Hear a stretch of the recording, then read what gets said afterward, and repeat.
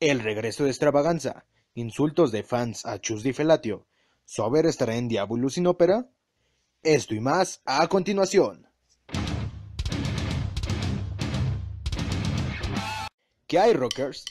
Hoy les traigo el resumen de lo que ha pasado en el mes de diciembre y enero en el mundo del metal y el rock en español. Empecemos. Arrancamos con nuestro queridamente polémico Chus Di Felatio. Rafa Baza lanzó un concurso planificado por nuestro querido calvo de moral dudosa y es para que le insulten. Y el post dice lo siguiente. Ya que me insultas, hazlo con gracia. Sé que me odias, que me desprecias. Vamos, que te caigo fatal. En estos días de paz, amor y fraternidad, demos una patada en la cara a la puta Navidad. Desahógate conmigo, utilízame, vierte tu lili sobre mí. Insúltame, pero ya que lo haces, hazlo con gracia. A quien mande el insulto más ingenioso o gracioso, se le regalará la guitarra de Manuel Cebuano, sacada en el videoclip En la Boca No, en el concierto de Madrid en la Sala Caracol el día 28 de enero. Ese mismo día también podrá tomarse un café conmigo y así reafirmarse en su opinión sobre mí, o dejar que mi encantadora personalidad lo subyugue y enamore. Los que escriban desde Latinoamérica entrarán en el sorteo de un pack muy especial firmado, compuesto por CDs, camisetas, etc. Los requisitos para participar en el concurso son los siguientes. Para hacerlo solo se podrá hacer por email. concursos@rafabasa.com. Hay que poner nombre y lugar desde donde lo escriben. Y en el asunto, concurso Burdel King. Por otro lado, Sober viene a México, el 12 y 13 de mayo, en Guadalajara y la Ciudad de México respectivamente. Y con esta misma noticia nos vamos a la siguiente. Y es que si recordamos un poco, el gran Diablo sin ópera de Mago de Oz será el 6 de mayo y se me muy raro que no aprovechen que Sober está por aquí. Si hacemos un poco de memoria y conocemos un poco la banda, tomaremos en cuenta que los Mago en muchos de sus conciertos más importantes invitan a vocalistas o guitarristas, bateristas, etcétera, etcétera. Y entre sus invitados más recurrentes son Carlos Escobedo y Leo Jiménez. Y pues también si recordamos entrevistas anteriores a Chus, había dicho que iban a traer muchos invitados especiales y muchas sorpresas, así que no sería de extrañar que Sober o Carlos Escobedo participen en el grandioso Diablo sin ópera. Dime tú en los comentarios qué opinas sobre esto. Y seguimos con las noticias. Y esta vez vamos con Extravaganza. Sí, escucharon bien.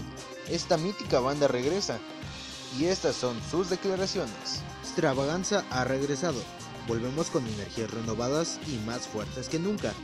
Con la firme intención de superar las expectativas que tienen puestas en nosotros de superarnos y de llegar mucho más lejos de lo que nunca antes llegamos. Han sido muchos años de espera para todos, incluso para nosotros mismos, pero ha sido necesario para llegar al momento de fuerza, conocimiento, experiencia, pasión e ilusión en el que nos encontramos ahora. Extravaganza no es solo un grupo de música, es mucho más que eso, y los que nos siguen desde el principio saben a lo que nos referimos. Ha llegado el momento de poner esa maquinaria bestial en funcionamiento, con la firme promesa de dejarnos la piel en cada paso que demos. Y les aseguramos que será justo como se lo imaginaban, o quizá mejor. Patricia Tapia de aquí anuncia que tiene algo preparado para el nuevo disco, que será algo muy especial. Y de nuevo venimos con Chus Felatio, y de nuevo contra miembros de Amigos. Si no sabes quiénes son amigos, dale clic aquí. Bueno, pues hace unas semanas, Salva, ex mago, después de 5000 años se dio cuenta de los plagios de Mago de Oz y compartió algunos en su perfil de Facebook. Y el más destacado fue Molinos de Viento, el cual llegó hasta oídos de Chus. Y aunque al principio trató de hacerse el que no sabía nada, al final dio buenos argumentos. Molinos de Viento en realidad es un plagio de una canción de la banda que se llama Un Camino de Cerveza. ¿Tú conoces esta canción? No. ¿Quieres escucharla?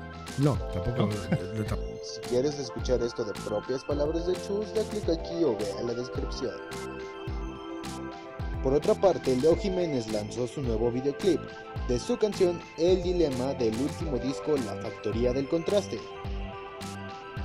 La siguiente noticia ya tiene un mes aproximadamente, pero para quien no sabía, falleció uno de los tres fundadores de Mago de Pedro Pablo, a lo cual el polémico Chus Di hizo unas declaraciones, donde muestra su lado humano, y dejó a más de uno con la boca abierta, ya que, wow, normalmente desprecia a todos los exintegrantes de Mago. Y esta vez dijo lo siguiente, desde tu cielo, me acabo de enterar, Pedro, que has desenchufado tu guitarra para siempre. Espero que desde tu cielo puedas enchufarte a una nube y tocar aquellas viejas melodías que entre Juanma, tú y yo cosíamos a nuestros sábados allá por 1988, cuando Mago de Oz solo era un sueño. Tú, al igual que todos, repito, todos los que han pasado por Mago han dejado trocitos de su alma en esta banda. Ahora serás canción, Pedro. Para cerrar, José Andrea nos trae un adelanto de una canción que está por venir. Si la quieren escuchar, el link está en la descripción. Y ya por último, José Andrea y Uroboros volverán a México. Sí, se sienten mago Vienen cada cuatro meses esto ha sido todo de mi parte. No olviden suscribirse, darle me gusta a este video y compartirlo con tus amigos más rockers. Recuerda que los enlaces de todas las noticias están en la descripción. Y ya por último déjenme saber en los comentarios de qué les gustaría que sea el próximo video, si de la segunda parte de los plagios del rock y el metal en español o de un todo sobre, donde digo como el nombre lo dice, todo sobre una banda en específico. Y sin más por el momento, Rock on. Thank you.